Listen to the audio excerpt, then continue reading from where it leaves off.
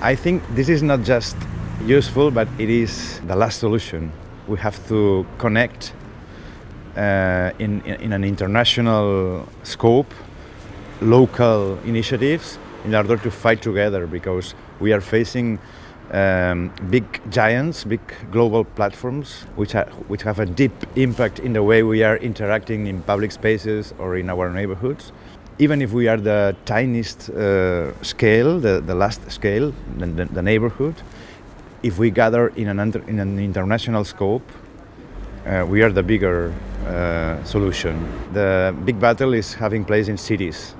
So neighbors must join in order to face uh, global platforms.